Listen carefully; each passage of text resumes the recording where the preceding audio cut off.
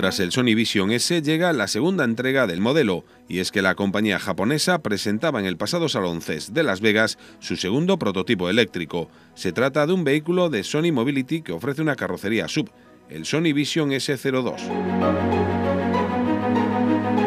Estamos ante el concepto que sin duda copará la mayor repercusión comercial, un modelo de casi 4,90 metros de largo, 1,93 de ancho y 1,65 de alto.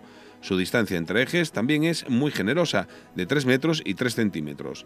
No llega a los 2.500 kilos de peso y entre sus elementos distintivos destacan las llantas carenadas de 20 pulgadas.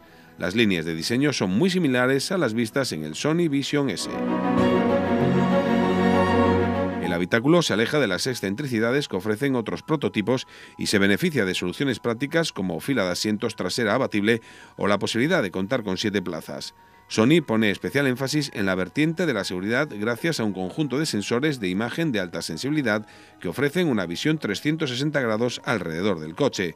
Estos sensores incluyen alta resolución y amplio rango dinámico y sensores LIDAR que detectan con precisión el espacio tridimensional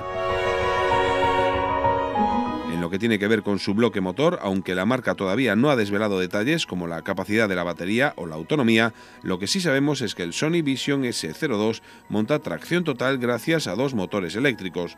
Cada uno se ubica en un eje distinto y tienen una potencia de 200 kilovatios. De manera conjunta rinden lo equivalente a unos 536 caballos de potencia, con una velocidad máxima de más de 180 kilómetros por hora.